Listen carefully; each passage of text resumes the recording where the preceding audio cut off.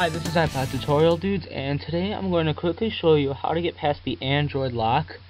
Um, you can get the Android lock for free from Cydia, but you'll need a, one of my sources. I'll link in right here. And if you are using HTML5, you will not see the link, so you'll need to go in the description, and I'll have the link there. So, um, um I'm going to show you how to get past the Android lock. So, if you forget it, if someone changes your Android lock password, and you forgot it, or yeah, like, or they won't tell you or whatever. Um, this is without restoring your iPod, the easiest way to get past the Android lock.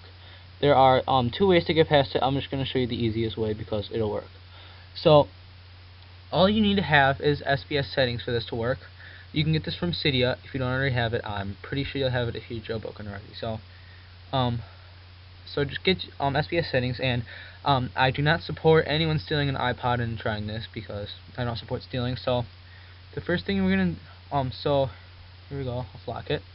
So here we go. So you don't know your Android password.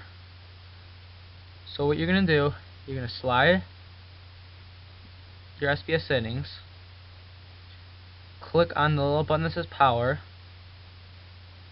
and then the bottom one says safe mode. So um I'll have to here we go. So we're gonna touch safe mode and now what it's gonna do connection closed yeah yeah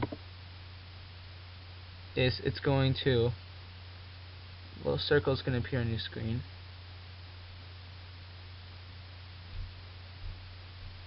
Just a second. It's just respringing into safe mode. And once you get into safe mode all you have to do is slide the slider across the screen and boom you can say OK and then and now you got through your iPod past Android lock. Now from here you'll have to go to Cydia. And there from here you'll have to go to Cydia and uninstall Android lock.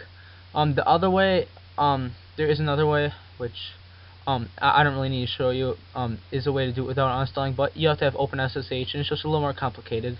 So what you have to do is uninstall um you have to uninstall Android lock then you have then you go back to normal mode. Then what you'll do is then you re-get Android lock and it'll work just like it has before. So I mean this is a really really easy thing. Um, so you just basically go to safe mode from SPS settings then you have to uninstall it then you go back to normal mode then you reinstall it and that's all there is to it. So that's how you get past the Android lock.